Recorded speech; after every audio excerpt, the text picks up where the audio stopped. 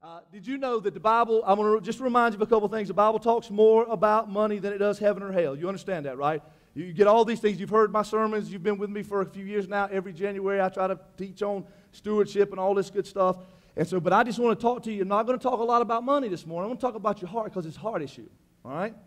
But I do because I get, I get these questions all the time, and rightfully so as a pastor. What do I believe about the tithe? Is the tithe uh, appropriate? A tithe is appropriate. Someone said, well, he, he, doesn't talk about it. Yes, he does. Yes, he does. He, he, talks about the New Testament. Matter of fact, if you want to get real technical, Jesus said, I didn't come to do away with the law, but to fulfill the law, to take the law to the fullest level. So you say, well, do you tithe? I tithe. I really do. I tithe. Our family tithes. Matter of fact, this last year, uh, we're not going to talk about numbers, and I do not know what you give unless you tell me what you give. I do not ask. I don't ask every week who give what. I, I don't. I don't. I, that's, that's between you and God. Okay. There are other staff members that keep up with those things and take care of it. But you say, Do you tithe? We tithe. I, I believe, you listening to me? Say amen. amen. I believe the Bible is very clear from the very beginning of the Bible, even in, in, in, the, in the realm of, of where the tithe was instituted to Melchizedek, which is a typology of Christ, all right, was a type of Christ in the Old Testament, that you should give a 10% of your first fruit. So when, when and I get asked, so I'm just going to get all this out of the way, and we're going to get to what I really want to talk about this morning, is your heart. We give 10% of our gross. All right? You ever look at your check and, and, and, you see it says gross and it says net? All right? I believe the gross is the first fruit. All right? I believe that I, I should tithe. Again, you don't have to believe like me. I'm just answering your questions that you've asked me, and some of you have answered them already, but I'm answering them again. We believe that we should tithe on our first fruit. So we give off of our gross. I also believe, I also believe the Bible teaches that first fruit that I give, I believe the tithe is the train wheels. I believe the tithe is just a training wheel, all right? I believe it's just it's something that he instituted to get you to a place that you understood that you could trust God with everything. And we'll get there in the sermon. But we tithe off our gross. I live in such a crazy realm of belief that everything I get, even gifts, if somebody gives me a gift, if I don't give that whole gift away, now don't be put off by that. Continue to give me gifts. I love you. If you give me a gift, I, eh, a gift. If you give me a gift, I at least tithe off of it. Most of the time, and I've tried to share stories with you because I want you to understand when you give to me, it's because you did it out of obedience, or you maybe you feel bad about something. I don't know. no, you did it out of obedience. And then I turn around. If I if I give it away, it's not to offend you because what you did was between you and God. When I give it away, it's because God's told me to give it away. And I've told you this before. I, am not in a place where I just automatically go and give it away. No, I told you a few, uh, might even a month ago, I struggled. Someone give me $100, and as soon as they give me that $100, I knew uh, within just, I'm talking about a couple hours of that gift, I knew I was supposed to give that away but I didn't. And it wasn't because I, I didn't want to give it away. It was just, I was, I, it's just something, and that's why it's a heart issue. It's just something that's attached between that government green and my heart. It just, every time I go to give it, it's like a tug, tug. And so I, I didn't, but then guy got super convicted, ended up giving it, and man, it come back twofold. And it's not that that's what it's about, it's just that's how it works. And so that's how we run our house. And again, last year was, was probably the, the and I'm telling you, you're listening to me, I promise you this. I bring home $500 a week. You, you pay me the church, you don't pay me, God pays me. Make sure I get that correct. I bring home $500 a week. And, and, so if you do the math, all right, on how much that is for a year, that's not a lot of money, right? And that's not a poor mouth. I don't want it. I've never asked for a raise since we launched the church. I've ne- I didn't even ask for the money, all right? They've taken care of me, and that's it. And I hadn't had a raise in years, a, couple years, and I don't. I don't, I don't it's not, not what this is about. What I'm trying to tell you is if I told you how much we, we gave, and she, she's on a teacher's salary, all right?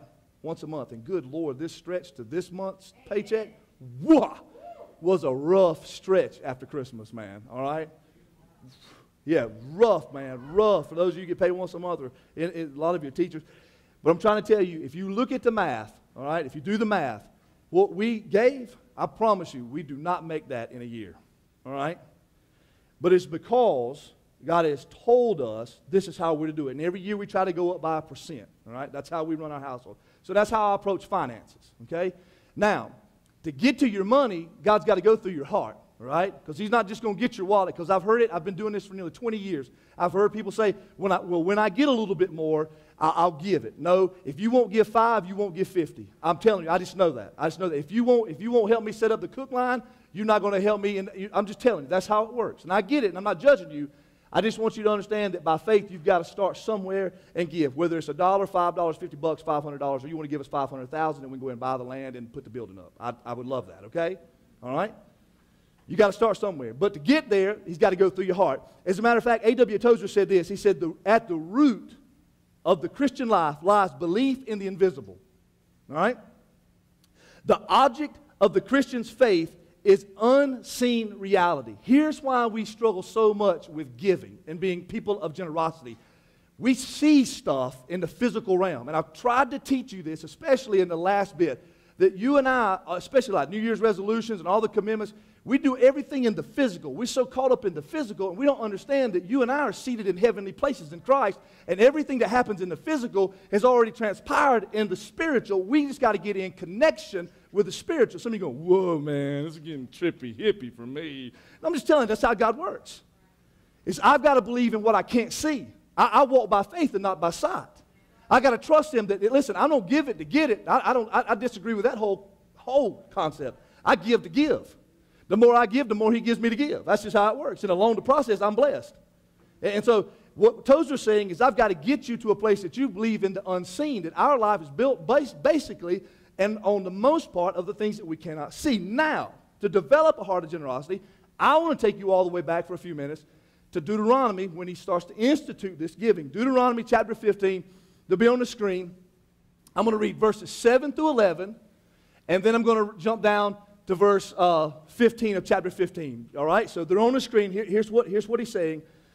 The Lord has given them commands. He says, If there is among you a poor man or your brethren within any of the gates in your land which the Lord your God is giving you, you shall not harden your heart nor shut your hand from your poor brother.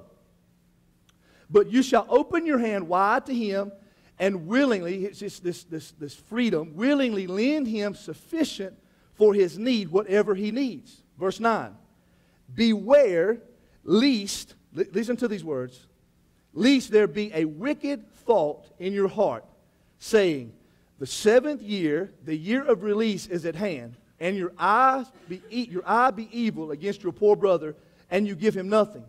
And he cries out to the Lord against you, and it becomes sin among you. So it starts, you see how it works? It starts here with this thought and ends up into this sin. All right, that's how it works. It starts here and it works out into our hands becomes this sin act. And so he says, don't, don't let that happen. Verse 10 You shall surely give to him, and your heart should not be grieved. You want to note that word, grieved, when you give to him, because for the things the Lord your God will bless you in, all your Lord God will bless you in all your works and in all to which you put your hand. Verse 11 for the poor will never cease from the land. Therefore, I command you, saying, You shall open your hand wide to your brother, to your poor and your needy in your land. Verse 15 You shall remember that you were a slave in the land of Egypt, and the Lord your God redeemed you. Therefore, I command you this thing today. I don't want you to think about money, I want you to think about giving.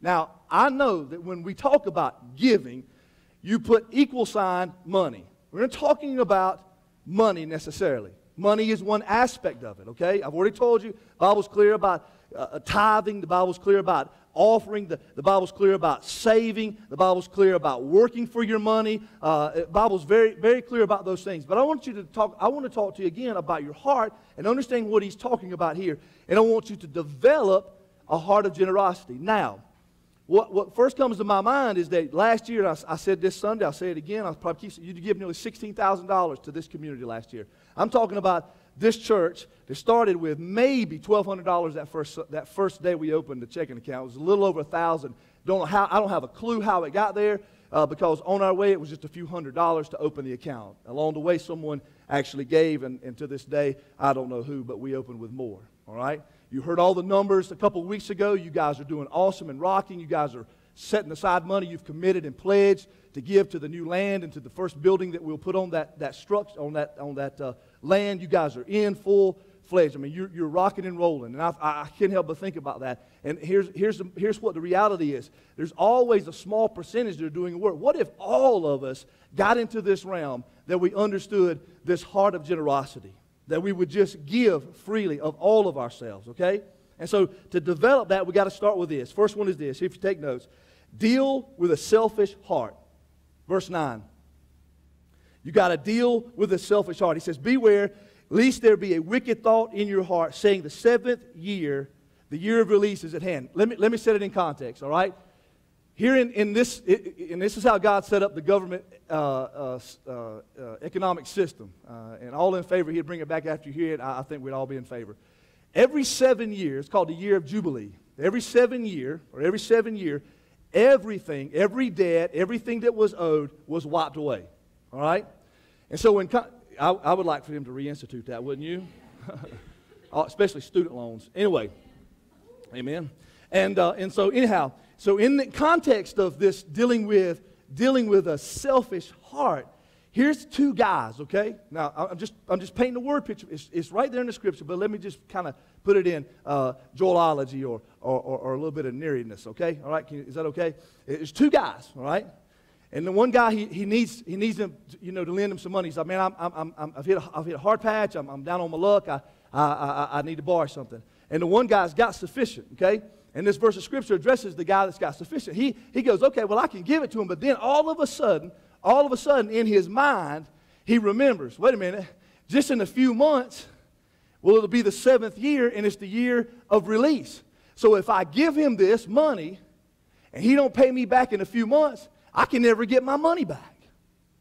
Now, you say, well, how does that equate to me and being selfish in my heart? Well, it, it's very simple. This part of us, it is what happens before we give. It, it, it's, it's, saying, why should I give? If, if, if, I give this, then I won't have for this. what am I going to get on my, and I've been told this too in the church. I, I want, I, I want a return on my investment. In fact, you remember one day we, we met with somebody and they said, listen, I, if, I'm, if I'm going to give you the money, and, and, and, and let me tell you this very quickly, uh, I let them know very, very, very, very, very, very quickly we didn't want their money. But do you remember he said, I got to have a drawn out plan of how we're going to, I'm just not going to invest my money. I don't want anything to do with that. You see, this comes from a place, and, and, I'm not judging them, I'm just saying this comes from a place of a selfish heart that says, well, if I give this, well, I won't get anything back for it. That's why I can't stand the give and get crowd. Well, if I give it, I'm going to get something back. You see, if you, if you start to buy into that name it, claim it stuff, or if I give, he's going to return to me sevenfold or a hundredfold, listen, it's not that he won't do that, but if you start doing it for that reason, I'm telling you, I promise you, as you do that, you begin to weave back in or sow back in selfishness. Because you begin to give thinking, well, what am I going to get? You understand? That's why I don't even like a church. I can't stand a church. Listen, I'm not, and I don't know, I'm not naming your church if it's your home church or your mama's or grandpappy's. I can't stand a church that's got names on every pew or every windowsill. Holy smoke. I get it. I get you donated. Put a plaque somewhere. I get it. I understand that. But listen, that don't belong to you. Because what happens is, if you've ever been a part of a church that has this tradition, I promise you, it may be not that generation, but the next generation, they'll be like, well, my granddaddy give that. And we're going to do it like this around here. Well, what if God said do it different? Are you better than God? I've had some tell me that they thought they were. Yeah. Well, if I was the pastor, you know, I tell them, I say, well, you ain't the pastor. I be's the pastor, all right? And so that's, that's, this is what he's saying in this is, is this developing a heart of generosity. First, you have to deal with a selfish heart. Let, let me ask you this. It was a question that was asked to seminary students. Why, why do you think God created giving? It was asked to this to a, a group of seminary students. Why do you think God created giving? And the resounding answer probably would be the same as you would give to support the work of the Lord. Wrong. So let, us put it into, again, Joelology, just put it in this uh, uh, vernacular. So you, you mean, you think that God needs you to give so that because the power bill in heaven was a little bit greater this month? Or they've run out of gold on the, the left street or the fourth street or the third street? You, you, you think God needs your help to do those things? You see, I, I believe with all my heart, God created giving, not, not necessarily for Him at all, but for you and me. So that we understand we need Him. And the more I give and the more I understand this concept that I give Him my all, I need Him. That's why God created it. God created it so that I would understand I needed Him. And I wouldn't have selfishness in my life because selfishness leads to sinfulness in my life and works God out of the equation. Do you, you followed me this morning? I know it's not one of those happy, clappy, yay, woo, fire and brimstone. I'm trying to teach you something. If you're going to have a heart of generosity, you got to deal with a selfish heart This happens before you give, and it works selfishness back into it. Just think about how God looks at that for those folks that say, if you give, you get. I, you think He's sitting up in heaven going, Look, I said, Look, all my people are finally catching the revelation of getting. You think He says that? They're finally catching the revelation of getting. No, I think it would be the other way around. They're finally catching the revelation of giving. So be very careful if you're going to develop a heart of generosity. We got to deal with a selfish heart. Secondly, you got to deal with a grieving heart. Verse 10 it says, "You shall surely give to him, and your heart should not be grieved when you give to him, because for this thing the Lord your God will bless you in all your works and all which you put your hands to." All right? remember that selfish heart that happens before you give. All right? This part of it, it happens. Well, it happens after you give. Crazy. I just I said I wouldn't try to chase too many rabbits, but I just had this crazy thought. And that's how, that's how Satan works, right? I just had this thought. Crazy about money. I'm thinking about going out to eat after church. And you know what I realized? I didn't bring any cash with me today. I don't, I don't have any cash to get anything to eat today. Isn't that crazy? I should know after nearly 20 years that I shouldn't be thinking about those things at all. I should not chase those things. Think. Are you a hundred dollars? Brooke King? Holy smoke. That's what I'm. Maybe I need to start thinking these thoughts out more often. Holy smoke. I can, I can have this, right? This is good? Yeah? All right, I'm not taking you out to lunch, though. no, let me, let me tell you the truth. Let me tell you the truth. See, why do you think Brooke King, of all people, jumped up so quick to give me that $100? because I give it to her before the service started. That's my $100, right? now, watch this. Watch this. Watch. She says she's going to give me a 10 back, but it's the 100. Watch this. Why do you think she jumped so quick? She didn't grieve over that. You didn't grieve, did you?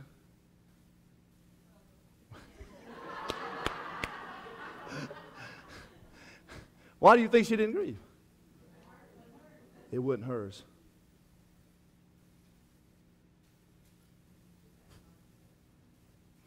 Do you see? The reason you grieve after you give is because somewhere along the line you didn't deal with the selfishness and you think and thought that it actually belonged to you. How many times have you pledged or given something in a large amount or said, I'm going to give more of my time, I'm going to commit to this, or, or let's just keep it financial, I'm going to give in this, and, you, and as soon as you leave, sometime this following week, your wash machine breaks. Refrigerator goes on the fritz. Wake up and the car won't crank. You see, you don't hear a lot of practical preaching nowadays. And too often we blame Satan for those things. It's that old devil, Could it possibly be that God is saying, Were you serious? I mean, it looks good to give, but was you serious? And see, if you'll get to a place where you understand that nothing actually belongs to you, well, you'll get to a place that you're dealing with a grieving heart. And after you give, you won't have to walk away from saying, I, I don't know why. I, I've heard of people that have committed to fa- capital fundraising plans that once they realized they could not give or, or whatever the case may be, or they got into a situation, they'd leave the, they'd leave the church. That's sad, man. I want you to know that if you pledged here to help us raise that, first, that first phase, that $500,000, and you get into a situation, hey, just don't give. Continue to tithe. Because, see, we didn't ask for your tithe, we asked for your offering, which is above your tithe, to go toward that. We won't judge you. I understand that completely. If you're going to develop a heart of generosity, if you're going to get into this, to this place where you give everything and realize this, you've got to deal with a selfish heart, you've got to deal with a grieving heart. Two more thoughts, and I promise you I'm done. I'm going to do them quickly. Third point develop a generous heart. Verse 14 You shall supply him liberally from your flock, from your threshing floor, from your winepress For what the Lord your God has blessed you with, you shall give to him. The Lord wants us to be generous, not selfish. We were born selfish, and God wants to cause us in our rebirth in salvation to be generous people. It is, it is the very first thing, if not second or third on the list, that you have to teach your child. Is that right? Is it amazing? It is amazing how you, if you don't matter if your child is an only child and they have a friend over, and that friend, I don't care what age they are, if they're toddler and up, I guess, it is amazing. I would imagine even the pacifier would get pulled back. But I, would imagine that as they, as they begin to, your, your kid is, don't, you say, well, my kid don't do wrong. Yeah, I know better. my kid's playing with this toy, but, but her friend or his friend goes over and picks this toy up. But as soon as they pick that toy up, they drop this and go to this, and it's mine. It's amazing. I, I, listen, and, and, and Addie, uh, when, when, when, when uh, uh, Lana become our daughter, and, and, and uh, it, it, it, was great. And it's, that, it's still that way, even, even, even at times now. Uh, it, things change. It's not necessarily a toy so much as it is maybe a hair product or a toothbrush this morning. Uh, yeah, little mama had to go back and find the picture at Christmas, which this toothbrush was given to you. And this goes, Lana, she, she, she thinks she's never wrong. And uh, Addie, she's stubborn like me, and so it, it causes situations sometimes, right? Oh, you thought our, our family was perfect, didn't you? Yeah, yeah. You got them back out of the trash because Mama threw them away, all right? And, and so this is, they were still in the wrapper, don't you gross people? Uh, hey, listen, it's one of the first things that we have to teach our kids to share. It's crazy. It's, it's crazy. This is mine, that's not yours. And God says, I want you to be a person of generosity. He said, out of your abundance, I want you to give. Now, someone, someone may have more, someone may have less, but out of your abundance, what God has blessed you with, you give. And, and what I'm trying to teach you is this in this, in this illustration about our kids, is, it, it, and for some of you, uh, you, you'll learn quickly. And God, I wonder sometimes if He's not saying to us, I, I wish you would just grow up. I wish you'd just grow up. There's nothing. It, it, the Lord said, the earth in its fullness is mine. Everything belongs to the Lord. I understand that completely. The Lord gives and the Lord takes. And, and so if, if I'm going to have a heart, it's a heart of generosity, I've got to deal with some selfish things. I've got to deal with some things that I don't grieve. I just give. I just I give and I don't look back. I, I understand bad things are going to happen. It rains on the, uh, the, the just and the, and the unjust. I understand that. Uh, but I've got to a place where I'm going to give and I'm going to give generously. I, I want to grow up. And I am a lot further down the road than I was when I started. That's where I, that's where I am. And I, am accountable to, the, to, to, some folks here in the church because if it wouldn't, if it, I'm, I'm being real with you, we wouldn't have any money in our savings account. Not that I'm more spiritual than them, I literally would give it all away. I have a hard time telling people no. I'll just be honest with you. Whether it's from this week buying a college book for a student that doesn't have the money to buy a college book, or last week paying somebody's rent that'll be evicted the next day, or somebody's power bill that's going to be turned off that afternoon to make sure he gets taken care of. And so those are, those are very serious. I, I get it. But you do that every other week and it adds up. Fixing people's car, I'm just, I'm just being honest with you. And, and, I, and I tell you what, I get great joy out of that. I, I get great joy out of being able to bless someone. I, I, get great joy out of watching my. And, and, it, and, here's the thing, too, is that it's not only just money, it's of my time. I, will get, I'll get a phone, and, I, am not trying to pick on you guys, but I'll, I'll, get a phone call or I'll get a message or say, hey, will you help me in this situation? And, and I'm, I'm, like, yeah, I, will make sure my schedule will allow me, I'll help. And, and what a great blessing come out of that. I, I got asked last week, I, I will do my first wedding of the season next Friday. You'd think after all I did last season, I wouldn't do any for a while. I'm a sucker.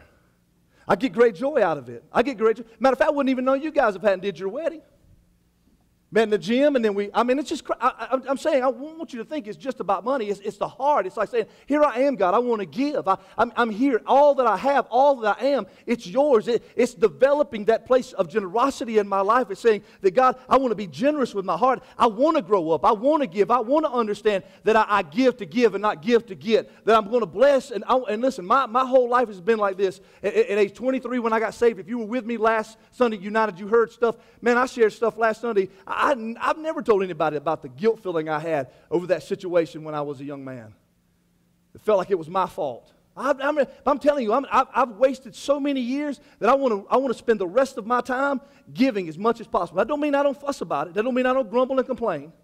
I don't mean I don't have my times that I'm saying, good Lord, that phone will not quit going off. How many times are they going to ask me? I've already told, I, am I'm human, yes, but I want to get to a place where I give and I give and I give. Oswald Chambers said we ought to come to the end of every day and that we are a poured out drink offering. That everything that we've had, we've just poured out before the Lord. We've given everything we could give that day.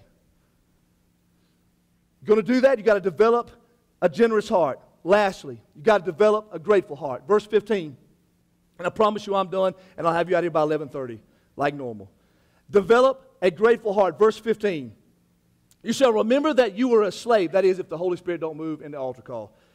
You shall remember that you were a slave in the land of Egypt, and the Lord your God redeemed you. Therefore, I command you this thing today. I command you to be generous. I command you. And that command for you to be generous is based off all that God has done for us. Do you understand? You read, it's a grateful heart. I'm generous because I'm grateful. I'm generous and I give of my time and my talent and my treasure because I'm grateful. I've never got over the fact that at age 23, he saved me from a hangover that morning. I'm just, I'm talking about just absolutely headache, hungover, and the music was super loud, by the way. I'm just to be honest with you, all right? You're not Assembly guy. We were rocking out that day, all right? And if you were with me last week, you heard part. What are he saying to this? He says, Listen, man, don't forget you at one time were a slave. You were in bondage. You didn't have anything. And, and I'm in a place in my life where I, I give and I, will go visit and I'll do funerals and I'll do weddings and I'll, I'll kiss babies and I'll love and I'll come pray and I'll bless your home. I, I get asked to come bless new homes. I, I, whatever. I do my best to be at all those things. Why? I do FCA. There's sometimes Bradley, our executive pastor, will text me and remind me. And I'm going, oh man, I didn't want to get up and go do that. But I do. I, I give these things. I want to do that because there was a time I was a nothing and a nobody, and God give me my life. God saved me from a drunken stupor. Do you understand all that God has done for you? And when you get to a place when you can look back over your life and see that God has done these things, that He's been faithful and that He has never left you nor forsaken you. I told you stories last week. I, I, I let you in on some things, man. Crazy drug addict drunkard, high school dropout. I was in a room, I was in a room one night. In that room, man, I've told you this story before. I believe I have. I've shared it in different circles. I'm in a room, I, my brother and I show up to this place. I sit down in a chair, and the next thing you know, I've got two 45s pointed at my chest, fully loaded, ready to blow me away. I can't tell you the times that we've gone out. I, I was just telling someone the other day, it is the stupidest thing in the world for someone to drink and drive. That's the stupidest thing in the world. First of all, to get drunk like that anyway, all right? Oh, that's too real for you, isn't it? You're looking for the bell of the church over yonder. I'm, I'm going to keep it real. I didn't say I, I, be of little wine. All right? How many times that I've been in the car upside down looking out, going, How in the world am I going to live? I, I, I didn't tell you the time. You listening to me? I didn't tell you the time that I checked myself. I had someone bring me. I'd been up. You, you understand what causes you to be up? I'd been up more than eight days in a row, begin to hallucinate. Someone brought something home, all right? You listen to me, students, how stupid I was and how I want you to avoid these things. Someone brought something home. I lived in, with a bunch of people, thought that was the coolest thing in the world. Was a flipping rat hole. They brought something home and said, if you'll take this, it'll help you go to sleep. So, hey, hey, well, yes, give it to Joel. It's like Mikey. He'll, he'll, take, he'll take anything. Give it to him. And I did. And the next thing I know, next thing I know, I wasn't asleep. I was, I mean, I'm literally, I could not get myself to get out of the spasm I was in. And so I have someone drive me down to the emergency room. I check myself in the emergency room, scared to death that I was dying. Next thing you know, they're, they're, they're, they're pumping Benadryl in me. They're taking all these things, and I hear someone in the other room. Are you listening to me? I hear someone in the other room. This is why I'm so generous. This is why I do what I do. This is why I am who I am, and how God has brought me to this place is I was once a slave to the things of this, and I ought not be here really, technically. And I heard him in the other room, in the other triage room, saying, listen, go get the, go get the police officer. He smells of alcohol. And literally, I, I mean, I panicked. I, had been on Benadryl. I took the stuff out of me. I walked myself completely out of there and began to walk up the highway. Do you understand that I'm not bragging on the sin in my life, but the reason I am the person that I am and that I'm so passionate with our students and you in your life, whether you poke me at the gym or you see me in Walmart, which won't happen that often if I can help it, Walmart part, all right? The reason is because I know all God has done for me. He's been faithful. And then we move to a place of salvation. From all that stupidity, I go through several years of what looked like a perfect little family. I come home one day and nothing's there. Rotten food in the oven because they'd been partying it up. No bill had been paid in four months. Mortgage was behind. SUV payment, all the toys, everything we'd ever had was gone. Nearly 10,000 or $12,000 somewhere between 8 and 12 last time I looked to count, every bit of it gone in the negative. All I had was $500 in my pocket from the revival I preached in that little mountain church. I found myself a single parent, four months behind on a mortgage and an SUV that hadn't been paid the payment in four months. I didn't know how in the world. I'd preached for years. That's all I knew how to do. I didn't know what I was going to do and start all over again. You think I give because just He says command you? No, I give because I once was a slave. I give because God has been good to me. He's given me my life. And so I don't just give Him my 10%, I give Him my all. Do you understand? I should be a statistic.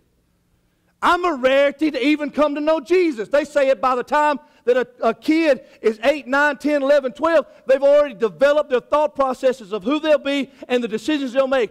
It is a rarity for any kid over that age to come to faith in Jesus Christ. I've been watching for over nearly 20 years now people absolutely blow that concept up because I am one of those guys that at age 23 realized that I was dying and on my way to hell.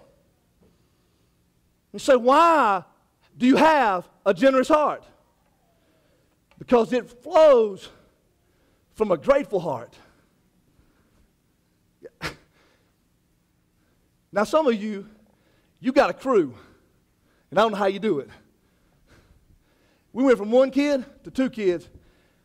I don't know how we, I, am just being, I, I'm telling you, if you look at what we gave last year financially, if you look at how much comes in our home, and I, I mean, you can ask, I, am an open book. I, I, it's okay, right? I mean, I've got nothing to hide. Because you'll, you'll see it's the power. Well, there's, there's a couple closed doors, and that's for me and mama, okay? All right? That's none of your business. All right? And I hope you're that way with your family. But as far as that goes, you can look. And here, and, and yes, it's tight, man. The last couple weeks, we, we, we've had to say, listen, you got to be careful. I, you, you, are you with me? Are you with me? And I want you because I, I want a pity party, and I don't, I don't, I don't want a handout. All right? Okay? Unless you just feel like God's broken your heart to give me. No. I'm talking where you couldn't even put gas in your car in the last couple weeks. Heath asked, hey, I need you to meet me. I said, I, I hope I got enough to get there. I didn't ask anybody for anything. I would just text and say, hey, mama, can I use a debit card? And she said, yes or no. I'm talking about that tight. Anybody else know anything about that? tight. But you know what? You listen to me? I'm, I'm telling you, because I, I, don't want you to just think that I'm going to leave them. Because come on, band, let's go. Watch this. Watch this. I got your attention, right? Not a single meal has been missed. And I eat healthy. You, you understand me? My family's healthy. We, I, don't, I, don't, go just buy the cheap stuff off the shelf. And I'm not, not judging you because you do, all right? It, it wasn't, it wasn't the ramen noodles, okay? All right? all right? Organic chicken. Uh, not a meal missed. It's been nice and warm in my house. Kids have clothes on their back, shoes on their feet, and they have no idea how tight it gets. I'm talking zero idea. You say, why? Because it's not their place in life yet to understand that. You say, how in the world? I can't do it other than God. I, I can't explain it, man. I can't explain it. I can't explain it. I can tell you these two things. I have, I have an audacious faith and a radical, ridiculous God. And I have a work ethic that's bar none. I will work circles around you. I will do everything I can to outdo everybody around me. I will do my best. Now, whether you like this or think this is a good principle or not, to be more of a help to someone than to ask somebody for help. You say, well, that's prideful. No, no, no, no. No, no. There's been times I've come home and there's $1,000 in the mailbox when I first went through the divorce. I first got married and I lost my job. So I didn't, I didn't, I didn't want to pastor. I wasn't going to do that anymore. I had to hide it high in the world. Or we've overpaid on a power bill. You get those checks every now and then. That's, that's the nuttiest thing in the world. But it'll always meet a need. All I want you to do is get to a place where you understand that God wants you to give Him everything. Not just 10%, not just money, everything. Deal with the selfishness, deal with the grief. Just give generously and do it from a grateful place. Just think about where you've come from. Think about all that God has done for you and how you hadn't even met Him halfway yet. Can you imagine if you completely surrender all that He has in store for you and your family and your kids? If you'll just stop holding back? It's crazy. Our God works that way. Will you stand with me? Let's pray together. Father, we love you. We thank you for being generous. There's nothing we can talk or teach about as ministers that, ha- that cannot get around giving because, well, the very essence of who you are and who we are in you is the gift you give in Jesus Christ. He gives all. Help us to be generous people.